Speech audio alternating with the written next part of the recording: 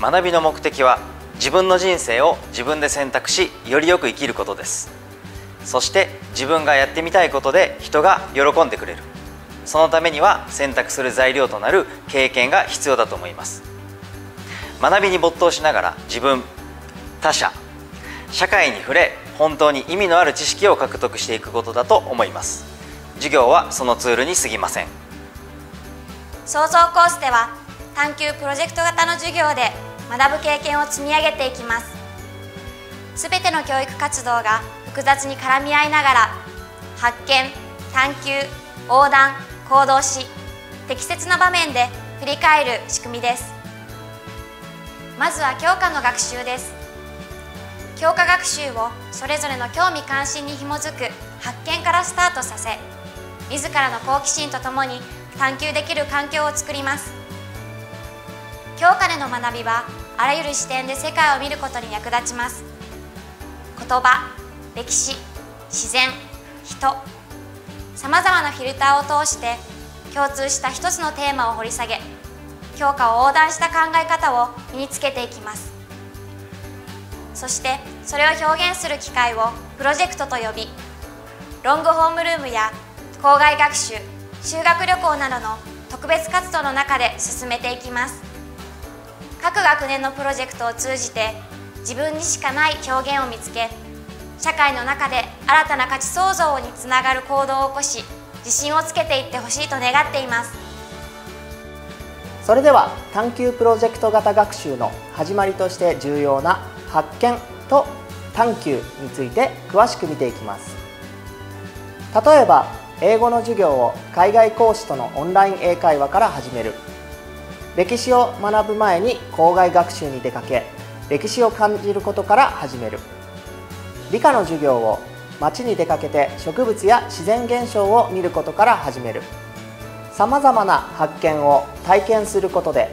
教科学習で探求する素材を得ることもできます。きっかけを得たら自分で調べるもよし仲間とブレインストーミングしたり共有したり意見交換するもよしさらに深い探究的な学びが進んでいきます。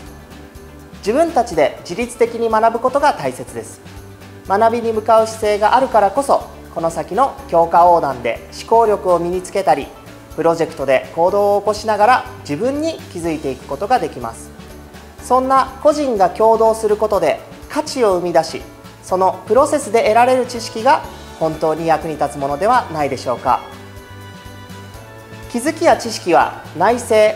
振り返ることで定着していきます。あなたが自分の人生を切り開いていく羅針盤となっていく。だから一番大切な時間といっても過言ではないかもしれません。このように探究プロジェクト型の学びでは発見探究するような授業を軸に教科がつながり教科を飛び出した経験を積み重ね何かを実行してみる場を設定しています。全てが有機的に機能するシステムです。経験を振り返り自分のやりたいことを見つけながらそれを実現するための知識スキルなどを獲得していきます。あなたに合った学び方を探しませんか？きっと楽しいと思いますよ。